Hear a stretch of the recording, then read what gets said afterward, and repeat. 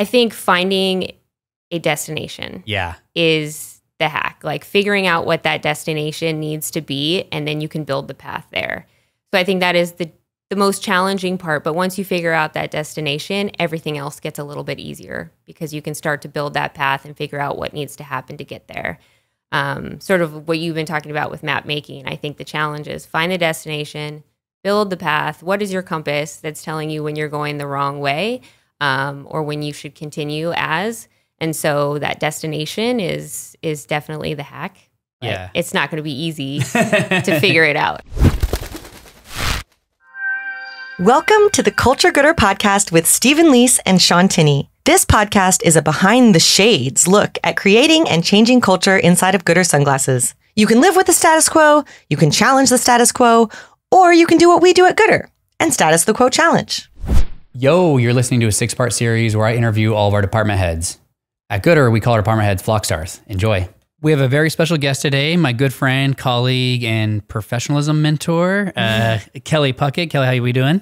Great. Thank you for having me. Oh, you're welcome. So Kelley is the flock star of our energy herd into the outside world. Are you known as our CMO? I think that's how I loosely refer to you as. How yeah, do you say? internally it's chief of energy. Yeah, Um, but yeah, externally it is a marketing role, so CMO. got it.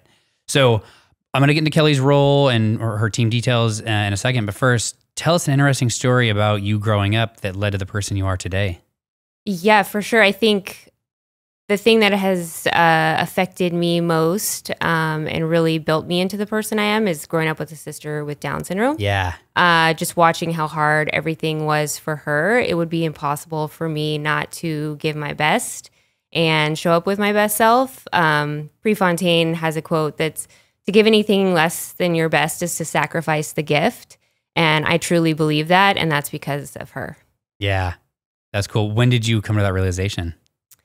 I think pretty early. I was Yeah. I was two when my sister was born, and um, you know she's my best friend, and uh, just such an amazing attitude and spirit through everything. And I think subconsciously I realized that pretty quickly, but Yeah. obviously as I get older um, and reflect back, I can I can see how much it's affected who as I am as a person. Yeah, for sure. I think the older we get, the more mature we get.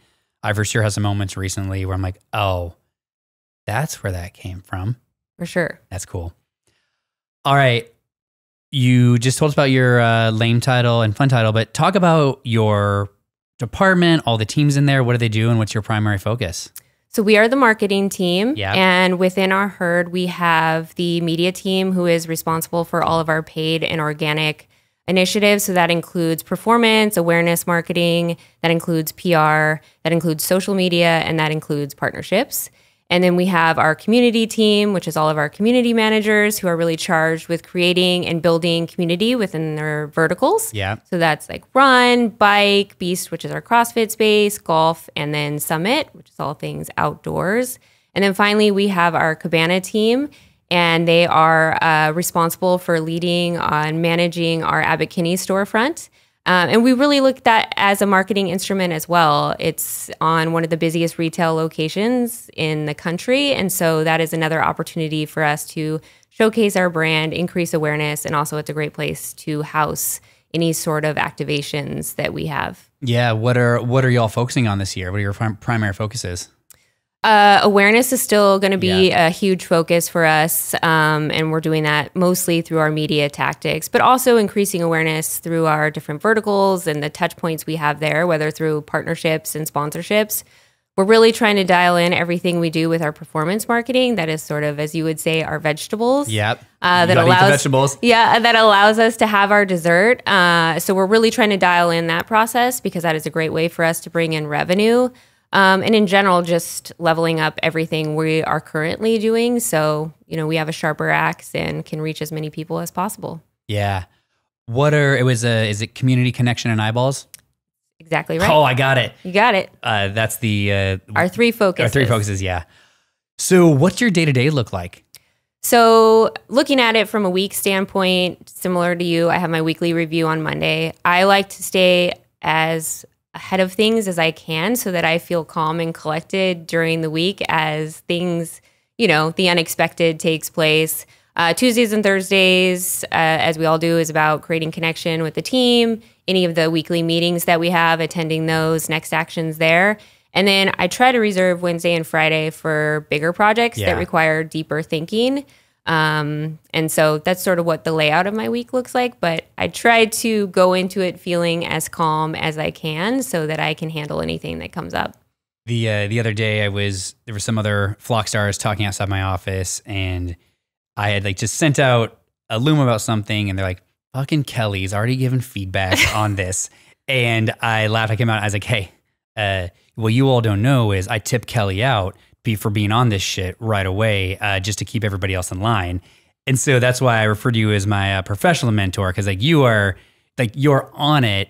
Maybe speak to why being on it just actually do you is it, does it lower stress do you like love it does it give you energy like like because because i think you feed off it what what's your thoughts there's definitely a peace of mind element to that Yeah. in knowing that especially if it's like a five minute task and i can cross that off my list i want to do that right away so that i can reserve that time for like i said the deeper thinking projects preparation is extremely important to me i feel so much more comfortable if i've prepared for something Yeah. so taking the time to do that so i can walk into something confidently again i think it all comes down to peace of mind and having that peace of mind is everything for me I don't like to feel panicked or stressed out about things. So that's a big part of it. yeah i actually think usually the most creative people i know are the most organized people i know I try, definitely try to be as organized as I can be, but I think it's also the second part of it is just doing it yeah and just moving on things. And I definitely have an urgency to do things. And so that definitely drives it beyond just being organized. so what's the funnest part about your role right now and what's the hardest part I would say the same thing for both. Um, Let's hear it. I would say I love the challenge, the day to day challenges working here as we are growing so quickly. So I love the problem solving. Uh, I think that's also the toughest part, but the hard is what makes it really great and rewarding when we're able to work through a problem and come out with a solution. And of course, you know, what works today doesn't work tomorrow. So always rethinking the way we're doing things is really exciting and also very challenging. is there a particular problem you can think of that you're just you are really struggling to solve I think looking to the end of the year, right? Where do I want to be at the end of the year? Where does our where does our team need to be at the end of the year is probably the toughest thing to solve right now and I would like to get ahead of any challenges that might arise. So I think thinking forward is always the biggest challenge, Yeah. especially thinking that far ahead. Um, but that's really important in order to set us up for success. And looking at the fractures that might be there right now, what are things that not what are not not what are the short term fixes, but what are the long term fixes? Um, so that's something I think that probably challenges me most is I can see little things that probably be, could become bigger problems if I don't start figuring out solutions now. Yeah, and layer on top of that, there's the, you know, seeing how, figuring out how to get to the end of the year, and then keeping a team, your team, pointed in the same direction. Exactly. Yeah. Exactly. It's a big team. You know, we all have these large teams who do have very separate objectives, but at the same time, how do we all work together to get to where we need to be? And I think that's actually one thing the energy team has done really well is like they're collaborating so much, whether it be the community managers and media working towards a common goal of how do we increase awareness in the space, the community managers working with the Cabana team. That is one thing I think we've done really well is just as a complete team working together to try to reach some collective goals. Yeah. And so making sure that we continue to do that is going to be extremely important. Do you have any hacks for people out there how to do this? Well, I, in terms of thinking forward, Yeah, and and, and and and getting your team pointed in the same direction. I think finding a destination Yeah. is the hack. Like figuring out what that destination needs to be, and then you can build the path there. So I think that is the the most challenging part. But once you figure out that destination, everything else gets a little bit easier because you can start to build that path and figure out what needs to happen to get there. Um, sort of what you've been talking about with map making. I think the challenge is find the destination, build the path. What is your compass that's telling you when you're going the wrong way um, or when you should continue as? And so that destination is is definitely the hack. Yeah. It's not going to be easy to figure it out. Yeah, for sure.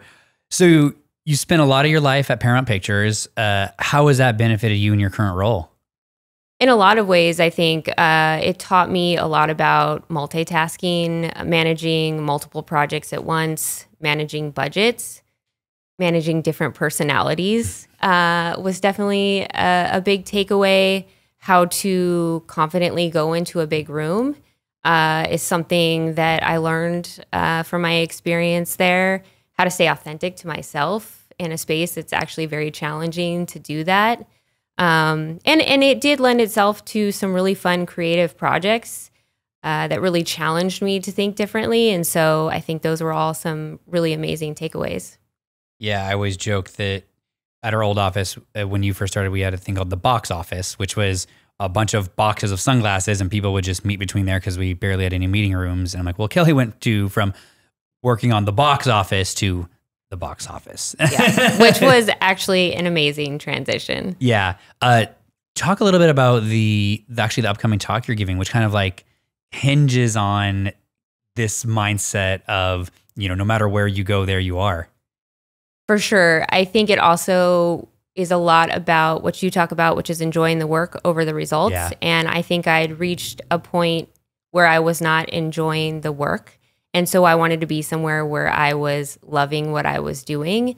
Um, but a lot of that is an attitude shift and being open to the possibility of doing something differently or the possibility of actually falling in love with what you're doing.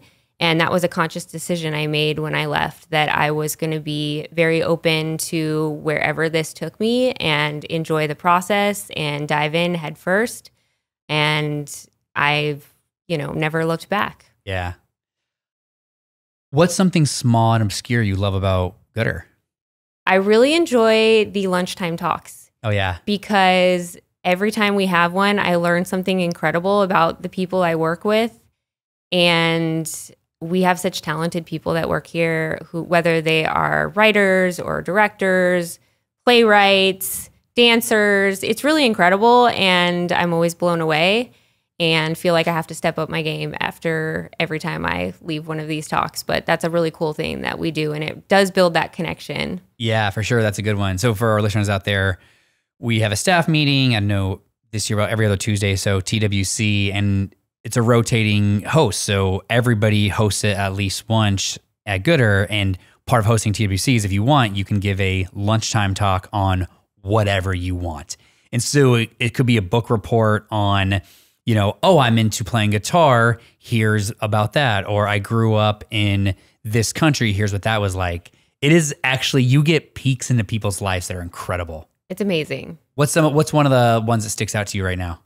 I think Katie Shea, I had no idea that she was a writer Yeah. and that she had written plays that had actually been picked up. So that was just something I didn't know. And I was really amazed by that. And obviously, she's transitioning to a role where she's going to be writing. Yeah. So that was super fascinating to me. And um, yeah, I just, I'm constantly in awe. Yeah, it's really cool, and I think the best thing about it is the open format, and so it can be whatever people want. Yes. I mean, we've had people talk about um, how they got out of a financial situation Yeah. to their love of pizzas to a talent that they have outside of goodr. So it's really incredible. Yeah, it's really cool. So we obviously share a love for professionalism. Uh, why is professionalism uh, important to you? Striving for excellence is important to me, um, which is really giving the best to my abilities. Yeah. That looks different for everybody. Uh, a big part of that, which is what I talked about earlier, is prep- preparation. Yeah, and uh, failing to prepare is preparing to fail. And so, as long as I go into something knowing I gave my best, then I walk away again with that peace of mind. Um, and so, that's really important to me that peace of mind. the peace of mind is, is a very real thing. There might be Wayne Gretzky. I think the quote is, uh, "Practice doesn't make perfect. Practice makes prepared." Hmm And there is a wonderful feeling when you can fall back on all the preparation you did.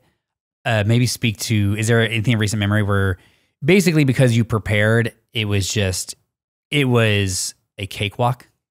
I spent a lot of time preparing for the culture talk I did Yeah. on the shoelaces, which was really about professionalism and preparation to the point where I was running with my partner and I was actually just reciting it without Yeah. the slides. and I had it, you know, that to that point it was memorized that much. And that's a great feeling when you can walk because you know you're gonna have nerves and all these other things. So if I can do that while I'm running without even any reference, then I know I can walk into a room and do that without a problem. Oh, that's cool.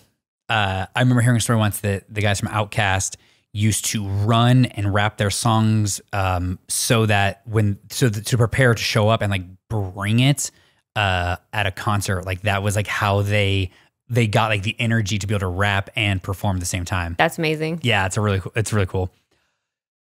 You took quite a leap moving from Paramount to goodr. So you know why, and then what was it like uh, goodr 2019? I mean, you were probably employee 30, 35 would be my guess. hmm Yeah, I, as I mentioned, I was definitely ready for a change. Yeah. And when you called, I immediately knew this was something I had to do.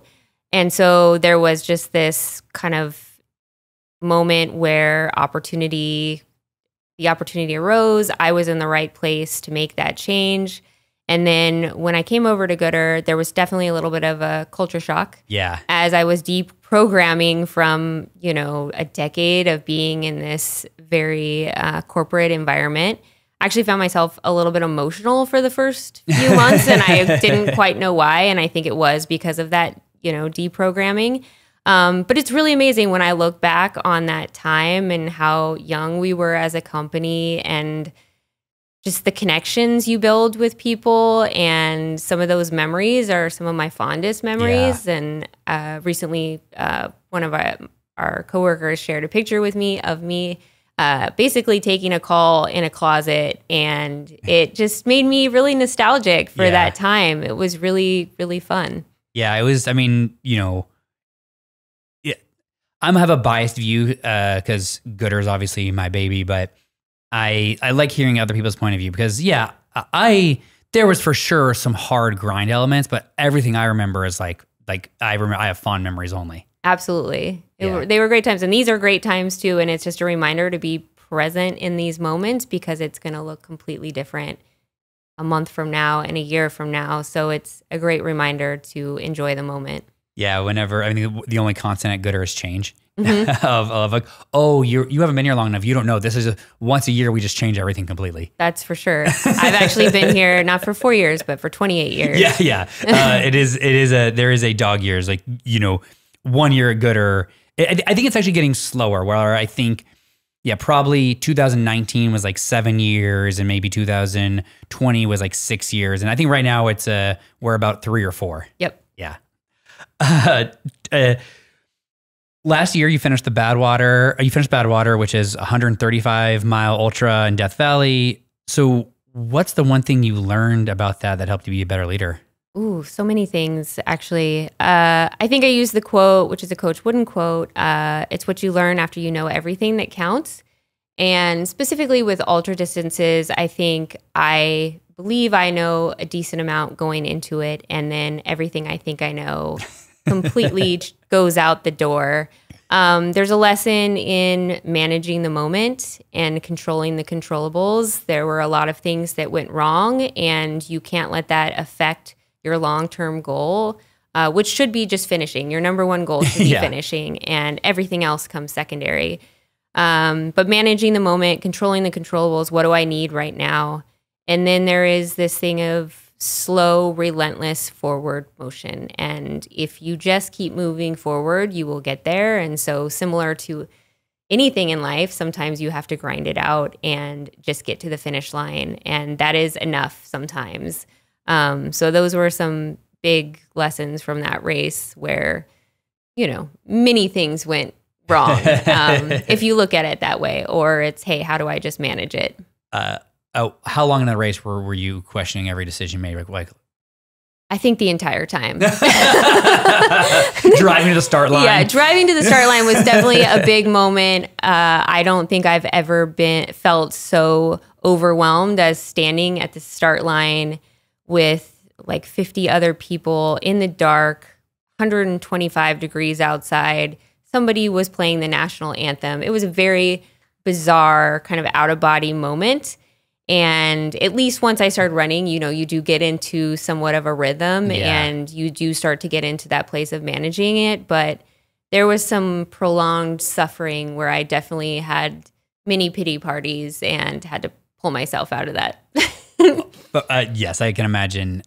I I always tell people I've only done one hundred miler and uh, mile thirty eight. I hit rock bottom like completely. My legs locked up. I fell down face first in the dirt and got through and finished. And I always, still to this day, will think whenever something's really bad, of like I've been in way worse situations than this. Mile thirty eight of my uh, hundred miler comes to mind.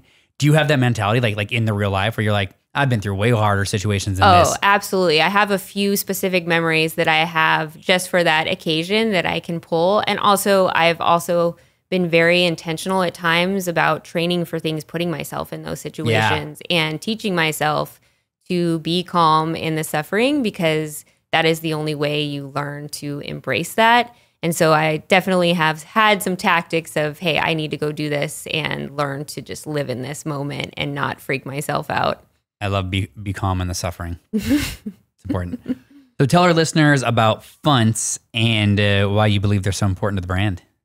So it's a made up word uh, that like a lot of words here. Yeah, like a lot of words. It's fun and stunts. It's basically a marketing activation. And again, to to draft off of what you've always said, it is the dessert after, you know, taking our vegetables, but it is a really fun and meaningful way to engage with our consumers and actually create that in-person connection. And I think we do still try to attach some KPIs and be clear about what we're trying to get out of it. So it's not it's not 100% a dessert, but it you know, we have some KPIs we're pushing towards, but it is really we're being intentional about creating connection and hopefully getting some buzz out of it and we you know, getting a placement in an Adweek or ad age would be amazing, but first and foremost it's about creating that connection. Yeah. You uh, last year we embarked on our first uh, awareness campaign. So you know, a giant effort, and Kelley and her and Travis, one of her flock leaders, presented like, "Hey, here's how we're going to do this. We're going to spend, um, you know, more money we've ever spent on media." And here's how we're going to make this come to be. And it was a really detailed plan. And at the very end, I was like, oh, and also here's basically two cherries. Uh, and one of them was Carl, Georgia, and one of them was New York City pop up. Mhm. And I've used this story many times where I've told people, well, when you come with this amount of detail on all this, you know, when you prepare all these vegetables, it's so much easier to green light a fun thing on top of it. Was that intentional in your like like was that intentional for you like being being like all right I'm gonna I'm gonna do all this and then I'm gonna get this other weird stuff on the side Absolutely. We had to figure out all the important I love hearing details and uh, processes we needed to build for the awareness campaign and making sure that we were bringing in as many eyeballs as possible. And then that gave us space to start ideating around something fun we could do. And we have such a fun, absurd brand that we want to be able to showcase that. And I think the best way to do that is do something in person and, you know, do one of these funts. Um, but yes, definitely, we had to figure out all the other pieces of this first, and there was a lot of pieces that had to be figured out.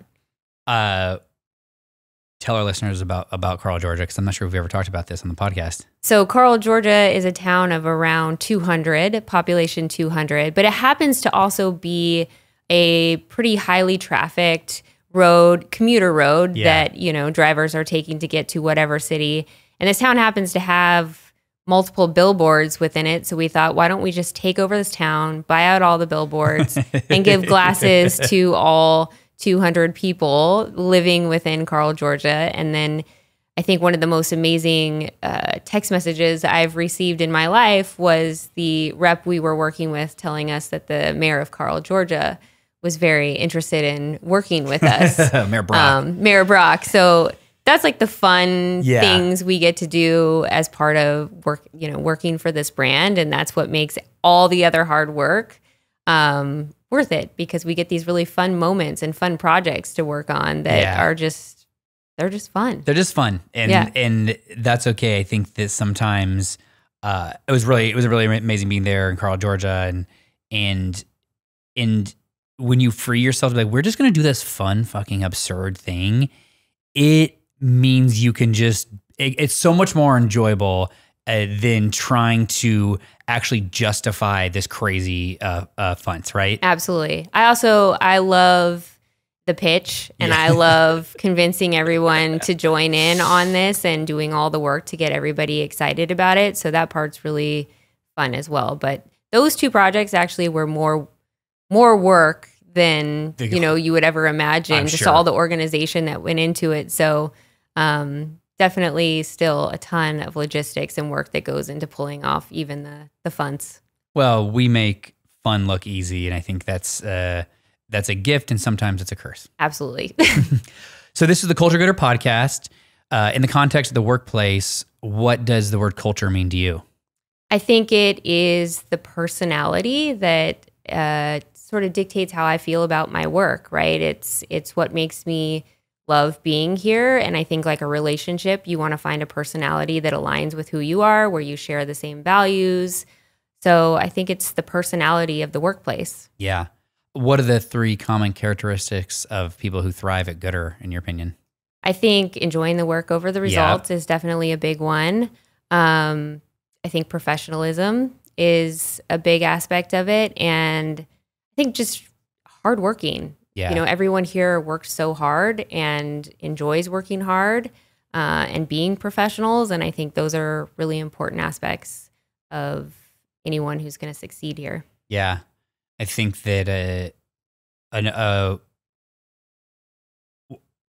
a word I would use often is uh, also kind or generous. Like people Mhm. are very generous with like their time and their energy energy to each other. Authentically, authentically kind. Yeah, for Yeah, sure. absolutely.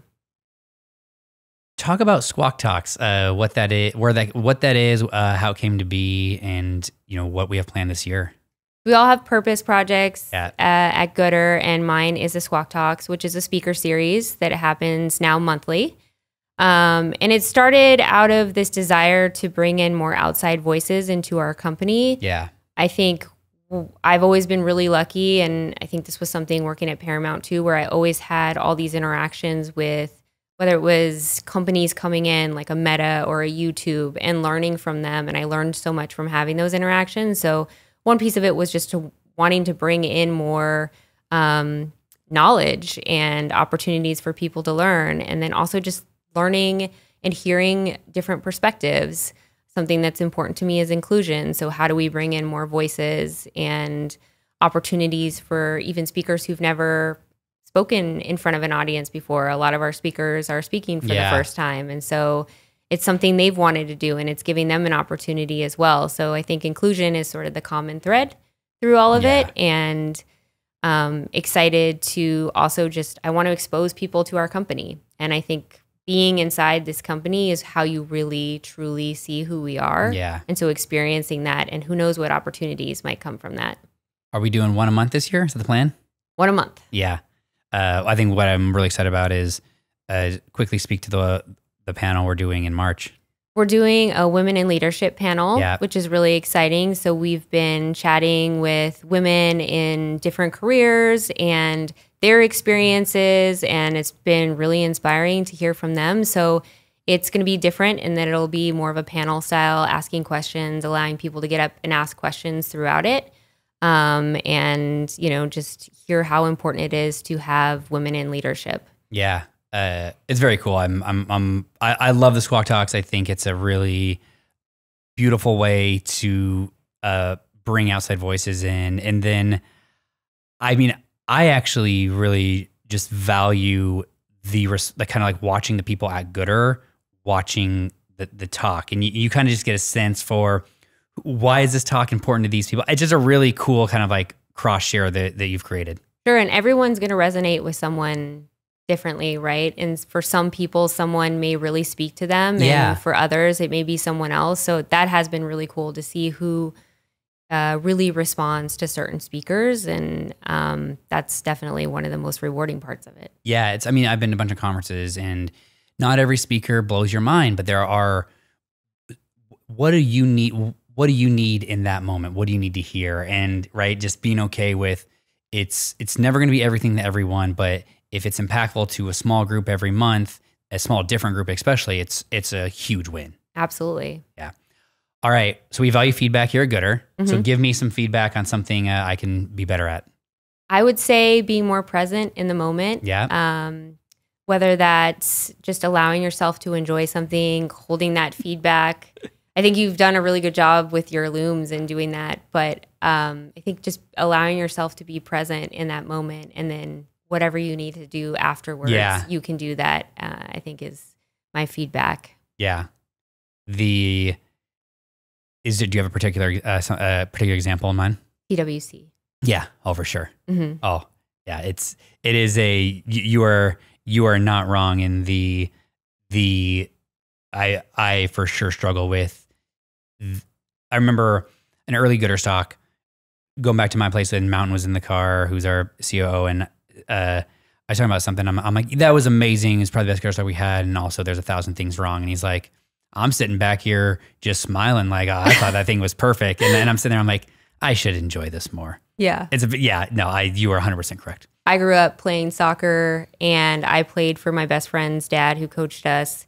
And our dads were both very, had a lot of feedback after Yeah. games. You know, there was a lot of feedback during games, a lot of feedback. And I remember my best friend Erin finally said to her dad, Hey, dad, let's talk tomorrow. Yeah, And I thought that was, and they kind of came to this agreement where he wouldn't just be in that game and be there for that. And then the next day, after he'd collected himself, they'd have that conversation. Also, she was in a better place yeah, because she wasn't feeling, you know, all of the emotions from that game. And I always thought that was a really cool thing. I never got there with my dad, but got to that point. We always had the immediate feedback, and you know, sometimes that led to some arguments in the car. But no, I like that. Actually, I know a way I can do. I can actually uh, attempt to be better at that. All right, so we're uh, going to end the lightning round. That's actually not really a lightning round, but we'll we'll go through it as quickly as possible. So, if you could, or if I could wave a magic wand and change one thing at goodr, what would it be? slowing down time, can you do that? I mean, it's a magic wand, so I'll try. Uh, why is that important? I think it is. It is what you're already starting to create, which is space. yeah, and it is. It is both good and bad, right? Time goes incredibly quickly here. yeah, Um, and sometimes I look back at the month of December and I'm like, where did that go? yeah, It just moves so quickly. So sometimes I think it also is that desire for me to be more present in the moment. Yeah. And I'm I also struggle with that because I'm always thinking forward. So time is is tough. We we move quickly. yeah. No, for sure. I would. I I share that, and also, this is so much fun. Like, what? Like, let, let's let's slow it down. right, right, exactly. Yeah. Exactly. Sometimes I look back, I'm like, oh, I wish I would have enjoyed that more. Yeah. I, I, I mean, on your even on your first piece of feedback, I all the time I'm like, why are you stressing out about this? Like this, this is not. This is in the scheme of things, this is not that big of a deal. No, Yeah, It's a good time. yeah. These are good times. Uh, how have you challenged the status quo recently? I think been doing a lot of taking processes that we've had for a while or things that we've been having that we've had in place for a long time and just dropping it on its head and rethinking it and really challenging the rest of my team to do the same. Yeah, Um, was recently working with one of my teammates who was really struggling to change something that I had tasked her with. And so we went back and forth and gave her some ideas of how she could rethink it. And she ultimately did. And it was incredible. And she was really proud of herself because she was basically updating a system that she had created. yeah, Which it is really hard if you've built something to then take that and completely destroy it and build it again Mhm. because you can't see past, you know, what you've created. and your brain is trained to go right back in. Yeah. Yeah. So trying to challenge myself and everyone else on my team to just look at what we have and, you know, what is not serving us anymore and what needs to be changed and pushing all of us to try to change. Yeah. What's a recent fuck up that you've made, and then how did you own it and uh, work to fix it? I thought I was giving direct feedback. and in fact it the message was not which is on me and the message was not landing and so i gave very direct feedback and of course it is it is you know what we talk about with radical candor wanting the best for that person Yeah. and really wanting to help support them so I've done that a few times where I realized, hey, I may have not been as direct as I thought I was, and then I've had to correct that. Um, and owning that Yeah. too, and and owning my part in that because that is on me to be more direct. For sure. Uh, so we're two for two on Flockstars. Biggest fuck up being feedback related. I, I think we might be able to go six for six here. Uh, what project uh, at goodr excites you the most right now? Ooh, I think what we're doing with the flamboyance is really exciting for me. We completely changed our ambassador program and we're just about to launch that. We're about a month away. So I'm excited to see the value that we can extract from that program. Um, and hopefully what we've built is is going to set us up for success.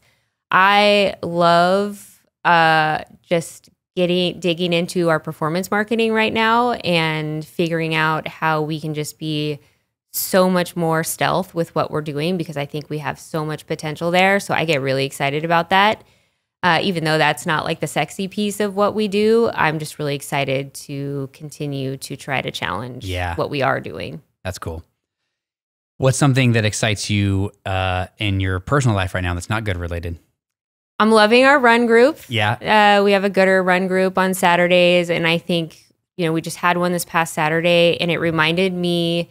Uh, my partner and I were talking about how it reminded us of this old run club that we used to be a part Yeah. of when it was at its peak, and there was just this amazing energy. And you have both kind of the new runners, the veteran runners, and I love seeing people experience the trails for the first Yeah, time because cool. that is one of my passions. So I was pretty amped up on Saturday after seeing all that and amazing what you've built and getting everybody out there because that's life changing. Yeah. Well, we've built.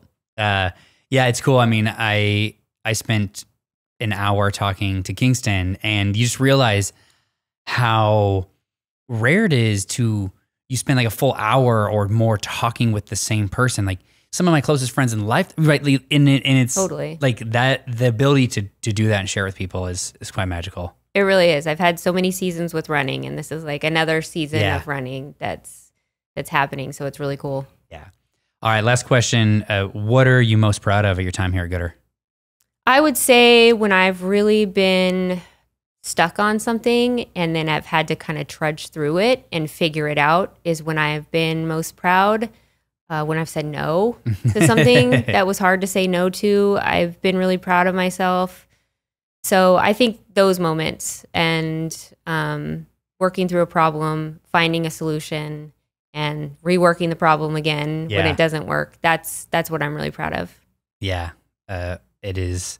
It is both rewarding and and uh, uh, sometimes mind numbing. Absolutely. it's both, for sure. Awesome. Well, that's it. Thanks, Kelley, for uh, for joining us. Thanks for having me. Th- uh, thanks, listeners. Uh, I'll see you in hell.